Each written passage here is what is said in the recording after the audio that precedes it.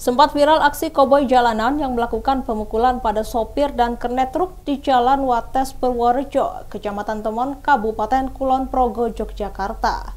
Dilansir dari tribunwow.com, pria yang kemudian diketahui berinisial RP berusia 33 tahun tersebut juga menembakkan airsoft gun yang dibawanya ke bodi truk.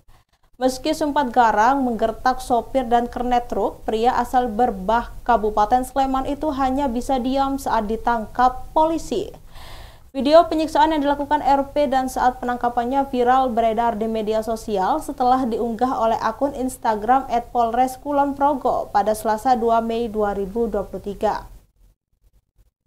Terlihat sejumlah polisi mengelilingi pria berbaju kuning tersebut sembari menyanyikan lagu ulang tahun. Tak menjawab, RP hanya diam dengan wajah terlihat cemas serta ketakutan. Polisi kemudian turut menyita airsoft gun yang digunakan pengguna kendaraan roda 4 jenis mobilio tersebut beserta amunisinya. RP kemudian dihadirkan dalam konferensi pers di lobi Polres Kulon Progo pada Selasa 2 Mei 2023. Pada kesempatan yang sama, Kasat Reskrim Polres Kulon Progo AKP Rahmat Darmawan menerangkan duduk perkara penyiksaan tersebut.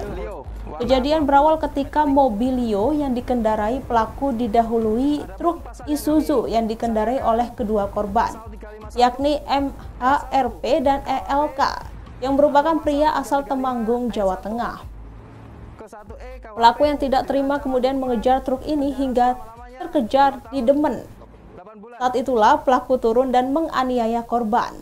Adapun pasal yang pihaknya sangkakan pasal 351 ayat 1 KUHP atau pasal 335 ayat 1 ke 1E KUHP dengan ancaman hukuman penjara paling lama 2 tahun 8 bulan penjara.